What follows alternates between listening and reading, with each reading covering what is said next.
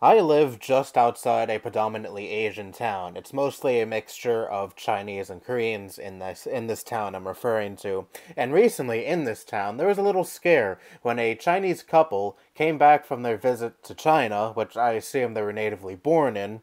Uh, they came back from China and they came back sick and many, many people, even the media, were speculating that this was the coronavirus. Oh no, it finally came over to this part of New York. Everyone's gonna get affected. Everyone's gonna get sick. Everyone's gonna die. Fear mongering, fear mongering. Turns out they just came back with a flu. Now, I myself didn't really know much about the coronavirus prior to this scare in my area because honestly, I didn't care about it all too much. But of course, after all of this that happened in my area, and after me doing research about its origins, what happens to you when you're infected, affected by it. It is scary, I'll give people that. But what I hate the absolute most about this coronavirus is all of the anti-Asian rhetoric that's been going around. All of the the overall bigotry towards Asians, especially in this country and also in other uh, other first world countries where Asians reside in now my family, some members of my family, not everyone I live with, have been saying we gotta avoid this town. We gotta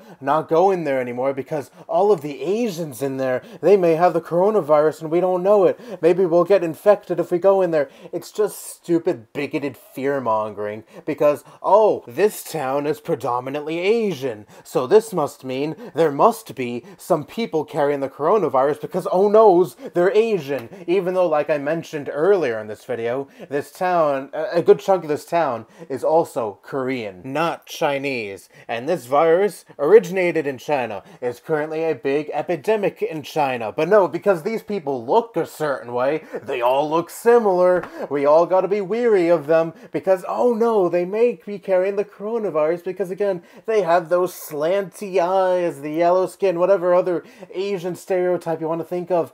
It is absolutely disgusting, this line of thinking, and I've seen seen a whole bunch of people on the internet try to rationalize this because it really should be no secret to most smart people that the internet is full of intolerant bigots. So of course there's going to be a whole bunch of people rationalizing this. But the other day I've I, I looked at a bunch of videos relating to the racism that the coronavirus sparked, or at the very least, uh, popular popularized even more against Asians. And I've seen all, uh, uh, all these videos are pretty much bombed with di- dislikes, and I'm sure this video won't be an exception. And the comment section is filled to the brim with disgusting bigots saying, "Well, how do you, how else do you expect us to react?" I expect you to react like a decent human being, knowing that, you know, just because someone is Asian doesn't give you the right to discriminate against them, automatically assume that they have this virus that they're going to infect you with, because that is a bigoted way of thinking. I can't believe this actually needs to be said, but apparently it does. The coronavirus does not give you an excuse to be bigoted towards these people. And I, I'm more I'm more than willing to bet that a lot of these people that are at the brunt of this of this discrimination aren't even Chinese, and people just assume that they're Chinese because, again, oh, they lo- they all look the same. My uncle brought up a story that he heard about just the other day relating to this.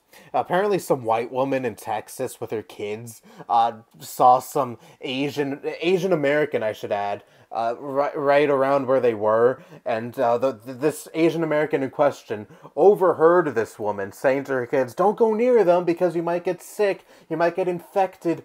What a fucking disgusting lady. Teaching your kids to be afraid of these kind of people. Be afraid that these people may get you sick. And anytime you encounter these people, you gotta stay away and fear them. That's a great way to bring up your child to be racist as fuck. These kind of people can't focus on the problem at hand, the virus itself. They gotta bring race and identity into this as if it's some kind of checkmate against a certain group of people people. Again, they can't look at the they can't look at the situation at face value and focus on what is actually the problem. They got to focus on all of these irrelevant little details. What is the race of this person? What do they look like? Oh, th- this virus comes from this certain type of this certain place. Oh, that totally gives me ammo to discriminate against a certain group of people. And all of the memes I've been seeing shared around on the internet a lot lately relating to the coronavirus are also part of the problem.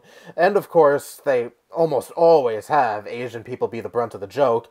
This only helps normalize this kind of thinking. This only helps uh, reinforce the notion that it's okay to discriminate against these kind of people because it's just one big joke. Don't be such a crybaby. It's all one big joke to to make to, to make jokes that spread harmful uh, stigmas surrounding a certain group of people. That's totally okay. Oh boy, what a world we live in. That's filled with totally, totally wonderful people. Definitely. Anyway, that's all I have to say. Bye bye.